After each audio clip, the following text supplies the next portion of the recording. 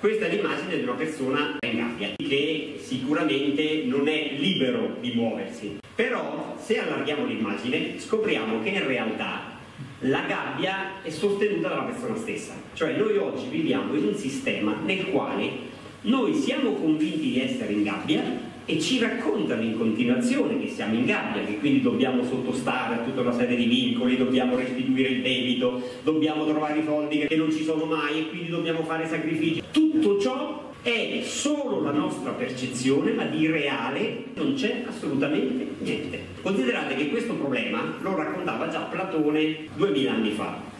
Noi viviamo incatenati in fondo a una caverna e siamo costretti a guardare delle immagini e dei discorsi fatti su delle tv, su dei giornali, su dei libri. Quindi quello che noi vediamo è una realtà che ci viene fornita, ma che non è la realtà vera.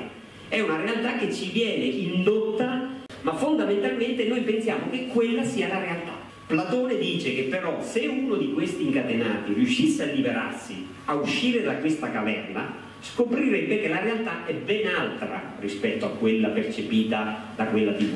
Scoprirebbe che è fatta di cose vere, è fatta di colori. Ma la cosa più assurda è che dice che se per caso, una volta scoperta questa realtà, volesse tornare dai suoi compagni a cercare di convincerli, a cercare di capire qual è questa realtà nuova, i compagni si rivolterebbero verso di lui addirittura lo aggredire in profilo a ucciderlo. Quindi stasera mi raccomando, quando vi verrà la voglia di uccidermi, cercate di frenare un attimo perché sto cercando solo di portare dentro la caverna un po' di luce e di cercare di darvi delle informazioni che probabilmente non avete mai ascoltato nella vostra vita.